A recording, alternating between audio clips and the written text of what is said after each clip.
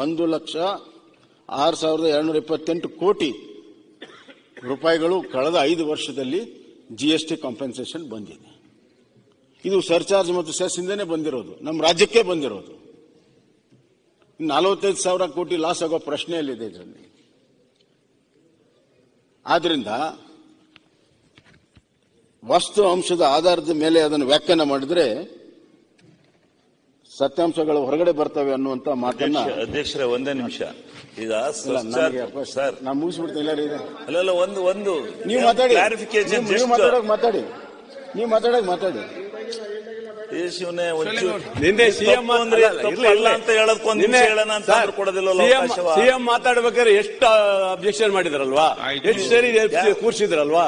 ಒಂದ್ಸರಿ ಕೇಳ್ಬಿಡಿ. ಆಯ್ತು ಕೂತ್ಕೊಳ್ಳಿ ನಾನು ಮುಗಿಸ್ತೇನೆ. ಇನ್ನ ಈಗ ಪ್ರಾರಂಭ ಮಾಡಿದ್ದೇನೆ. ಈಗಲೇ ಇನ್ನ ಪ್ರಾರಂಭ. ಸೆಸ್ ಚಾರ್ಜ್ ಬಗ್ಗೆ ಬಿಡಿ ಆಮೇಲೆ ಮಾಹಿತಿ ಹೋಗೋದು ಬೇಡ ಅಂತ. ಶಿವಲಿಂಗ ಅವ್ರೆ ಮಾತಾಡೋಣ. ಶಿವಲಿಂಗ ಅವ್ರೆ. ಮಾತಾಡಿ. ಶಿವಲಿಂಗ ಅವ್ರೆ ನೀವು ಬಜೆಟ್ ಅಲ್ಲಿ ಮಾತಾಡ್ತೀರಲ್ಲ?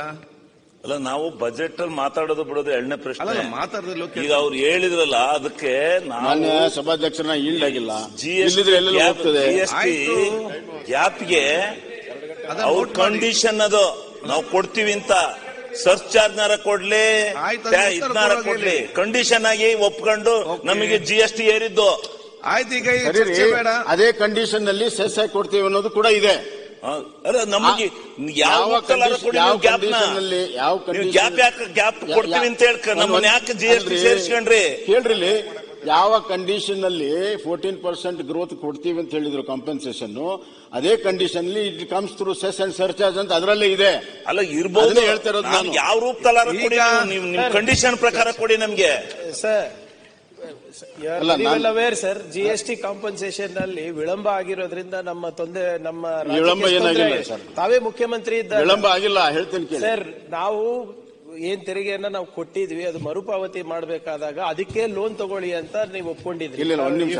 ಅಲ್ಲ ನೀವು. ಅಲ್ಲ ಅಲ್ಲ ಫ್ಯಾಕ್ಟ್ For the ಅಲ್ಲ ಅಲ್ಲ ಯು ಶುಡ್ ಗುಡ್ ಆದ್ಮೇಲೆ, ಅಲ್ಲ if you ಒಂದ್ ನಿಮಿಷ. sir, You- you- you we should are you yet should to recover. understand you should understand loan ಕೊಟ್ಟಿರುವಂತಹದ್ದು covid ಇಯರ್ಸ್ಗೆ ಯಾವಾಗ ರಾಜ್ಯ ಮತ್ತು ಕೇಂದ್ರ ಆದಾಯ ಪೂರ್ಣ ಕಮ್ಮಾಗಿತ್ತು ಆವಾಗ ಲೋನ್ ಕೊಟ್ಟರು ಆ ಲೋನ್ ಏನು? ಸಂಪೂರ್ಣವಾಗಿ ಕೇಂದ್ರನೇ ತೀರಿಸ್ತದೆ.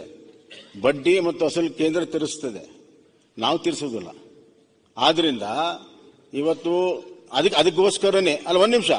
ಅಲ್ಲ ಅದು ಅದಕ್ಕೋಸ್ಕರನೇ ಅಲ್ಲ ಅದಕ್ಕೆ ಅದಕ್ಕೋಸ್ಕರನೇ ಎರಡು ಸಾವಿರ ಇಪ್ಪತ್ತೆರಡಕ್ಕೆ ಕಾಂಪನ್ಸೇಷನ್ ನಿಂತರೂ ಕೂಡ ಆ ಸೆಸ್ ಏನಿದೆ ಇಪ್ಪತ್ತರವರೆಗೂ ಎಕ್ಸ್ಟೆಂಡ್ ಮಾಡಿದ್ದಾರೆ. ಈ ಲೋನನ್ನು ಅನ್ನು ತೀರಿಸೋ ಸಲುವಾಗಿ.